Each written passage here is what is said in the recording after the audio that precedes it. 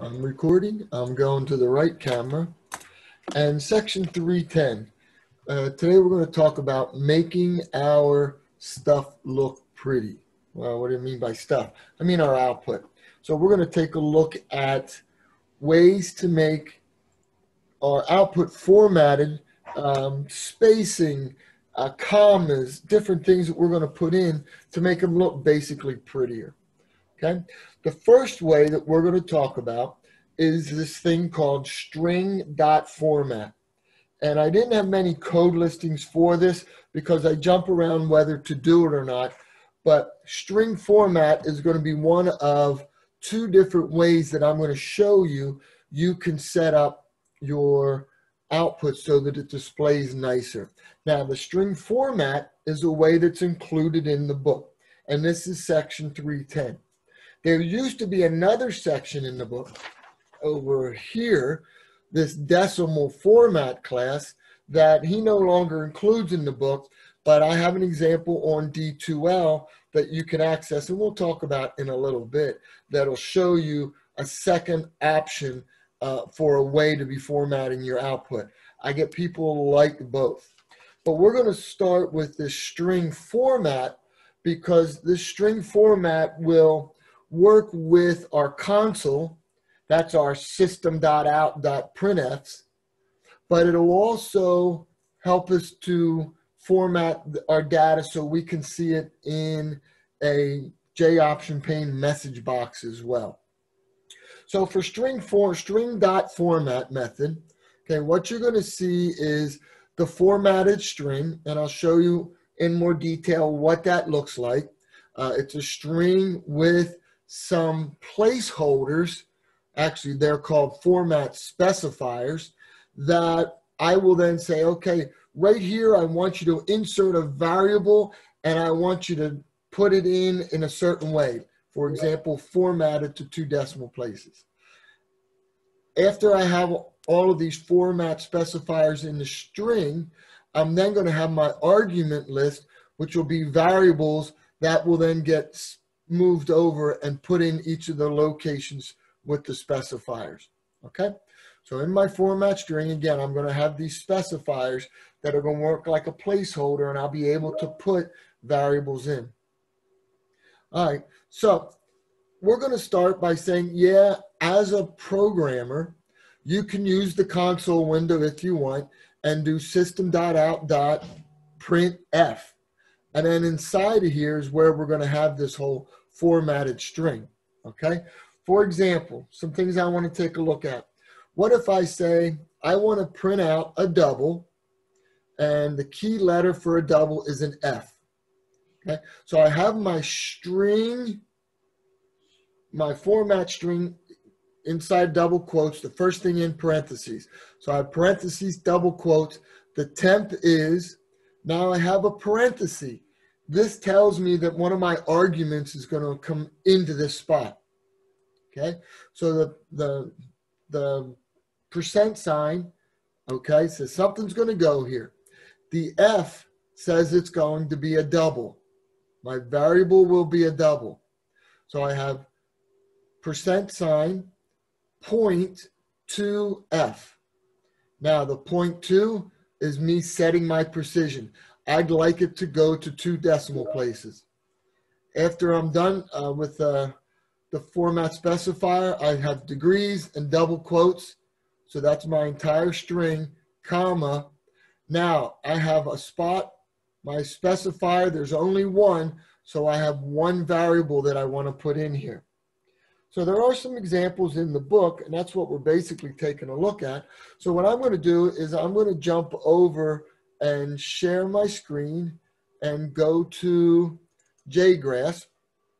And I'm just going to start to type some. So in JGrasp, I have a dummy program set up, and it's basically um, I have public class format X for examples, public static void main. This is kind of a skeleton I drew up.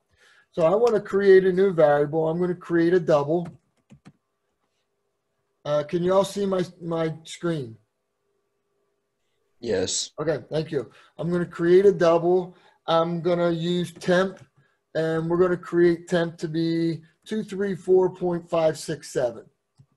Just created a, a crazy variable, calling it temp. And now I want to work on displaying it. So I'm going to do system, that's duty, that's not system, system dot out dot printf.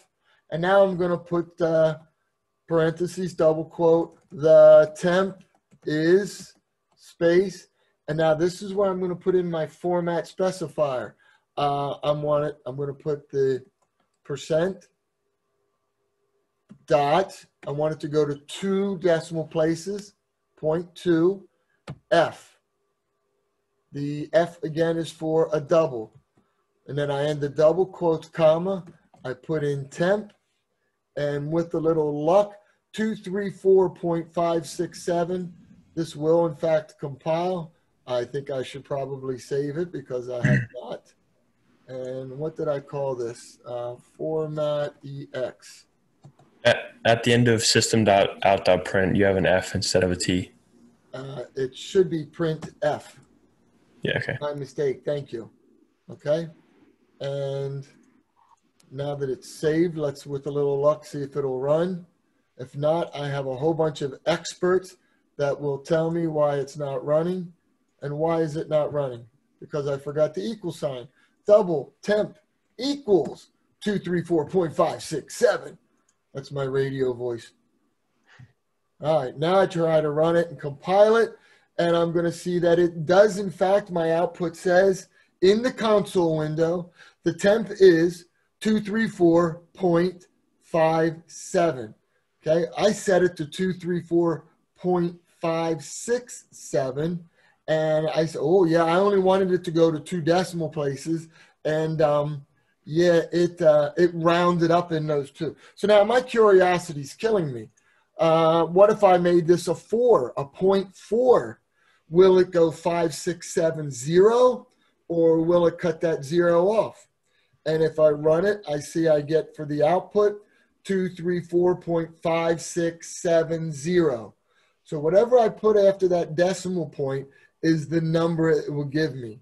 Now you all are saying, well, we probably want two because, uh, well, or three, because in the math world, it's common for three. If we're talking finances, we're, we're probably going to make that point two. Okay, point two. So I'm going to stay with my example. And the second thing I had in my notes is creating a field width. Like how, how wide do I want this to be? So I'm going to go back to my system.out.printf and I'm going to put the temperature is, and then I have my percent sign. And now I'm going to put a number in front of the decimal point. So 10.3. Now this time when I run it, it's going to give me a field width for my variable for my argument temp of size 10. So if I run it, my output will be the temp is, and I notice there's a bunch of spaces now before the 234.56. Okay, so it brought in a little bit of a change. What if I go back up and say the temp is, um, let's just, let's just make it uh, five see what happens with five. When I run it, my 5.3 gives me, okay, I can, I, I notice in my output, it's now the temp is, and yeah, there's less spaces there. So that five can adjust my field width. Um, something you probably won't use very much, but it, it's good to know that it's there. Now, the last thing I want to do is I want to do something called a flag. And I'm going to go back up into my program and I have double temp equals, and now I'm going to put 9999234.567. All right. Now, as we know, our variables don't store commas, but we'd like to get a comma to display.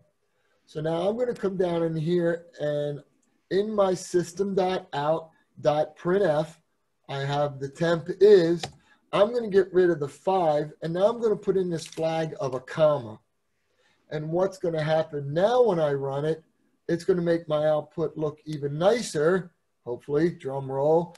And you see it becomes 9, comma, 999, comma, 234.567.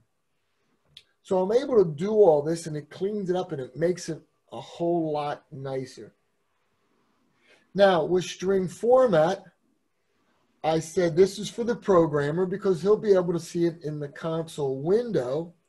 I'd like this to also work with my GUI. So I'm going to take a look at setting this up to store in a way that I can put it in a GUI.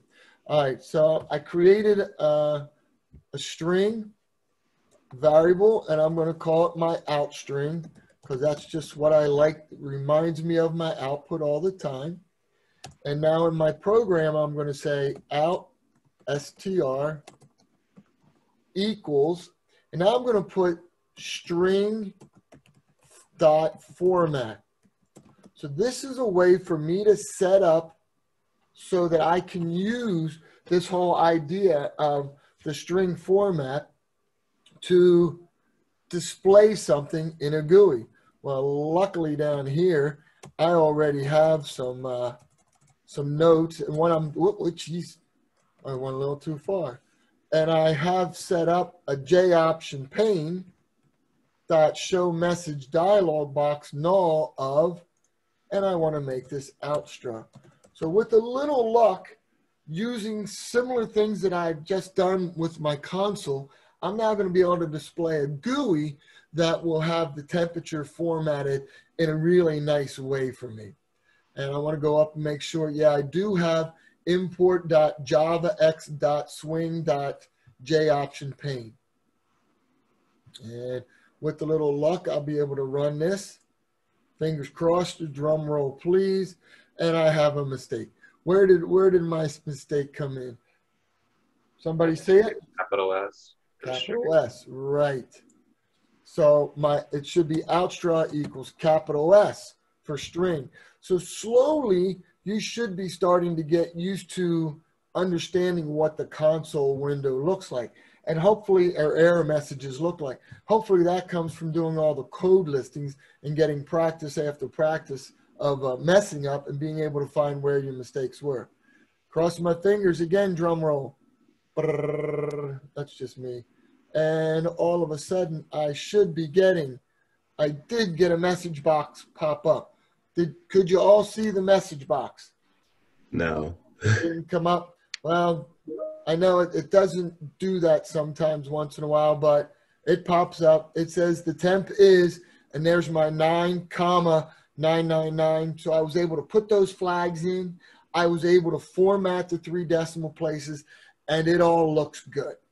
Great. Outstanding. Wonderful. Okay? We I'm going to come back. use- Yes. We can't use the uh, system print out F for a dialog message. System.out.printf. Well, when you write when you write a program, remember you're writing it for a user. So when the user runs the program, they don't see the code and they don't see a console window. They see a GUI that pops up. So again, the console window down at the bottom with the system.out.printf is great for you as the coder. But you need to be able to make it so everything is in GUIs. So if somebody runs your program, that's what they get to see. Mhm. Did that answer your question? Yep. Excellent, excellent. Okay, uh, I'm going to make another string um, variable. I'm just going to call it name. And I'm going to give name the value of Ray J. Johnson. I should put junior on there, but let's not go with that. So this time in my J option pane, I want to change and I want to do a new um, output. So I'm going to come in here and put the name is. The name is, and percent sign. And if I remember right, a moment ago, I said it was an F for a double. Well, does anybody know what it is to, to make this specifier for a string? It's not F. Take a guess. S. I hear an S. So let's go percent S, double quotes, comma, name. So you can see I'm holding a spot for a string this time versus when I did it a moment ago for a double. And if I run it, I use the S and you probably can't see it, but the, the name, I spelled name wrong, that's all right, is, and it displays Ray Johnson Jr. Okay, any questions? Yeah, just a quick. Um, I'm not. Sh- I lost. we might get to it later, but Okay. uh, when you're when you're formatting like a number, Yep. uh, you have to manipulate it later. Is that going to be a problem? It has like commas and stuff in there, or Well, remember it's inside the string and will follow right after per- the percent sign. So, for example, we have. Um, let's go back to this once. Output string is the name is, and then we had percent s, and the temp is, and this time I'm going to put the percent uh, comma point two. So now I have two of those specifiers in there. So name is going to go with the percent s. So now comma, and now I'm going to put in temp, and that will go in the percent comma point two to format that. So remember out here on the right, it's going to be an argument list to go along with this format string. okay, And hopefully if I run it, it works better if I do a drum roll. And You didn't put F after two. you are correct. Thank you. Let's try it again. Percent comma point two F. And you can't see it, but it actually works.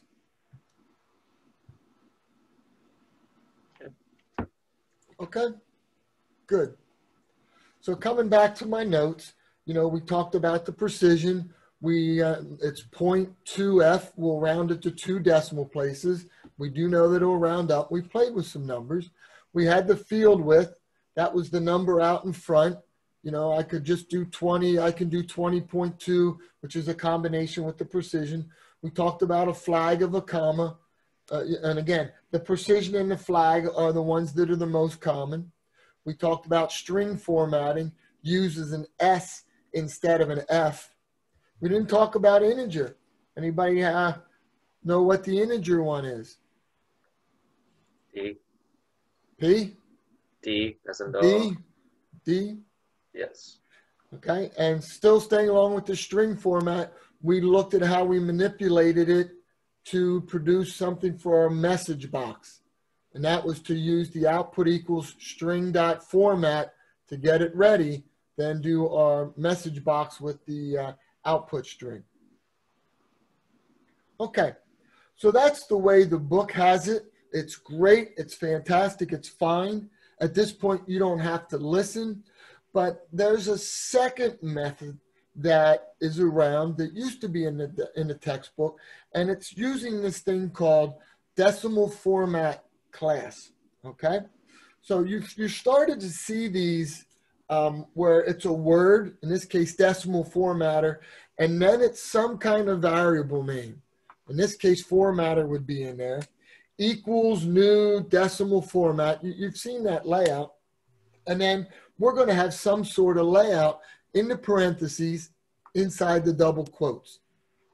And what you can do is manipulate what's inside those double quotes. For example, if inside the double quotes we had the pound sign, comma, pound, pound, zero point zero zero pounds. What this is saying is I want to do a layout. The pound signs are optional. Okay. The pound signs are optional. Uh, but if I go pound, comma, pound, pound, zero, That means if I need it, it will put a comma in. The zero right in front of the decimal point says there will always be at least one number in front of the decimal point. The two zeros that come after the decimal point say there will always be two zeros after the decimal point. And then I have a pound which says if needed, go to a third decimal place. So the way I would create that is I would create an out string that says your number is in double quotes, then the plus followed by formatter, which is the name I made up up here. We could call it any name we want, but it's formatter. And then I want to do dot format, which means it will adopt this format. And then I would put a variable name inside of there. So looking at it syntax wise is kind of boring. But if I go and I share my screen again and I load up the program that I gave you for today on D2L, um, we come in and I see in line nine something java.text.decimal format. I need that for that decimal format class. Okay. I come in and I say, here's the syntax.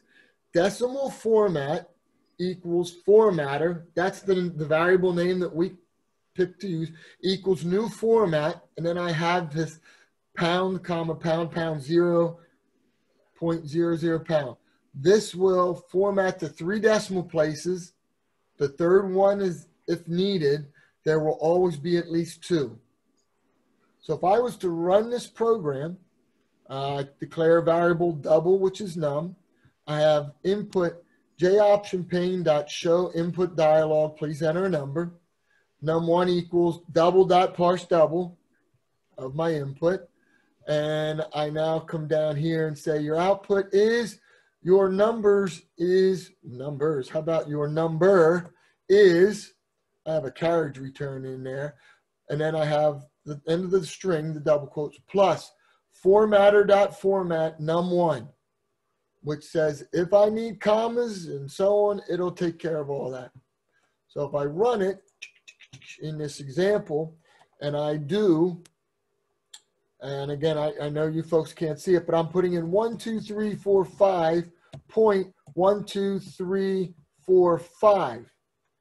And my output will come out to be your number is one, two, comma, three, four, five, point, one, two, three. Professor, It, it needed it, so it displayed it. Yes. do you find this uh, other method to be more efficient? Using the decimal format class, I do like it better Yeah. because once you format it, my line 23 says decimal format, formatter equals new form. I can use formatter over and over and over again. I don't have to keep worrying about how I inserted it before. Agreed. I like that a whole lot Okay. better. Right.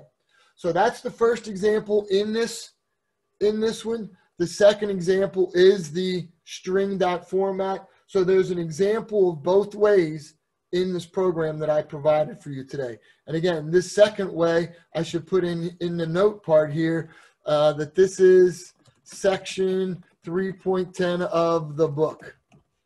Uses the string dot format. Okay. The, the other way is this decimal format formatter that's available for you. Other questions? So now all of your program output will look pretty.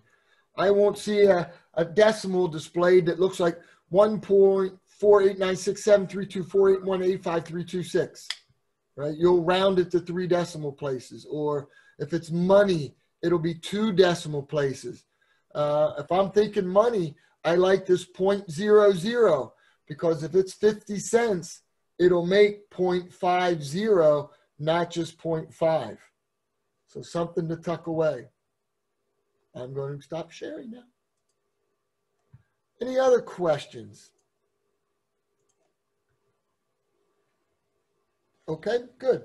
Hearing none, I want you to do a little program and I'm going to have you display the output using both methods. So really, you could grab that program I gave you today and hang on to that. But I want the user to be allowed to um, input three doubles.